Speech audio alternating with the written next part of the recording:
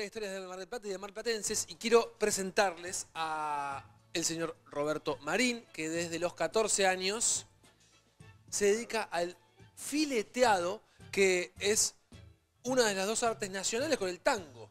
¿Está bien? ¿Es correcto? Sí, sí, fue declarado junto con el tango este, patrimonio cultural y material de la humanidad.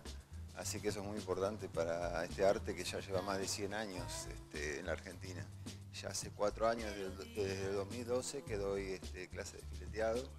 O sea, trato de enseñar el que antes era un oficio, ahora es que quedó en el caballete, quedó como un arte. Pero bueno, trato de transmitir todo, todo el oficio, todo lo que yo aprendí. Me decías que acá hay pocos y en Buenos Aires hay cientos y hay gente de todo el mundo que va a Buenos Aires a aprender el oficio que vos enseñás acá en la ciudad. Sí, generalmente nosotros no reconocemos nuestros artes, ¿no? Como el tango, que estuvo mucho tiempo ahí medio solitario, pero la gente de afuera, del extranjero, la verdad que lo reconoce mucho tanto el tango como el fileteado porteño, que es un arte netamente nacido en la Argentina y desarrollado en la Argentina, el estilo. Así que el extranjero lo reconoce mucho y viene a aprender el oficio directamente, se instala en un hotel y están tres meses para aprender el oficio. En este atelier se respira el arte del fileteado, con la diferencia, insisto, en que vos le das ese toque marplatense, por ser de la ciudad, que no le da el porteño. Vos marcás eh, tu amor por el mar. Exactamente, porque yo, yo soy marplatense y para mí el mar es todo, yo el mar lo uso porque yo me meto en las olas, nado, entonces yo todas esas, sensaciones las transmito en mis cuadros y trato de hacer todo un estilo realmente de fileteado pero marplatense. Uso mucho las olas, las aves marinas, este, todos todo esos cielos de Mar del Plata.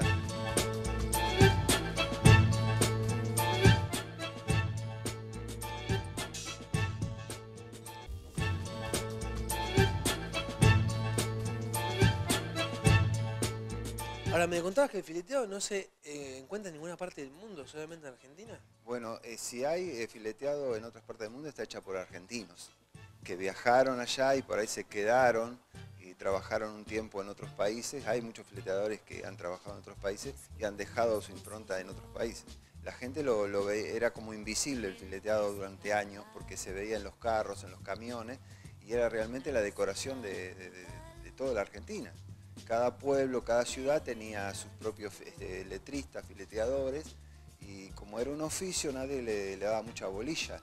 Después cuando empezó a desaparecer es como que ahí la gente lo empezó a ver como un arte. ¿En qué se distingue el fileteado? ¿Qué es puntualmente el fileteado para aquellos que no tienen idea? El, fileteado principalmente es un arte decorativo. Eh, en una época, digamos, desde el 1890, por ejemplo, hasta la gloria del fileteado fue durante la época que se fileteaban todos los camiones verduleros, fruteros y los carros que transportaban el pan, la leche, bueno, toda esa época fue la cuna, la, época de oro del fileteado. Entonces se usaba como una decoración. Decía, si decía, por ejemplo, panadería, le hacían todo un fileteado alrededor, una decoración. En los camiones, bueno, los mismos dueños de los vehículos, de los camiones, querían que todo el camión esté cargado de flores, de dragones, de banderitas. Los italianos querían la banderita italiana con la argentina, bueno, y actualmente también lo, lo, hacen. Se ve mucho más, ya les digo, en Buenos Aires, porque Buenos Aires es la cuna del fileteado. Pero es un arte realmente argentino, bien argentino, y yo acá tengo la posibilidad de, enseñarlo, tengo alumnos, y vienen a aprender eso, arte tradicional del fileteado. En instantes vienen los alumnos para aprender un poco de esto a tu atelier que es una especie de galería de arte. Sí, sí, es una galería de arte porque yo todos mis cuadros los cuelgo y no los vendo. ¿No vendés los cuadros? Me piden, me hacen a pedido eh, con alguna impronta de alguien que quiere algo para un cumpleaños, para, para, un, para un regalo, para un quincho, yo se lo hago, pero los que yo hago personalmente no los, no los vendo, es mi colección. Gracias Roberto, otra vez te doy la mano. El fileteado marplatense lo hace Roberto Marín.